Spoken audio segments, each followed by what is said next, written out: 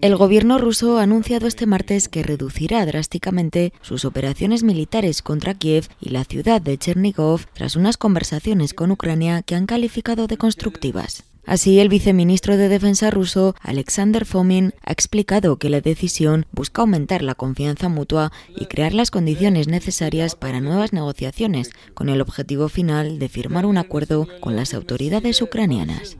La decisión se debe también a que las negociaciones sobre los preparativos para un acuerdo sobre la neutralidad y el estatus no nuclear de Ucrania, así como la entrega de garantías de seguridad al país, están avanzando hacia la práctica. Rusia ha hecho este anuncio después de la reunión que han mantenido en Turquía las delegaciones de ambos países. En este sentido, la parte ucraniana ha manifestado que sellaría su neutralidad y, por tanto, renunciaría a entrar en la OTAN, como exige Vladimir Putin, siempre que Kiev cuente con garantías de seguridad en sus territorios.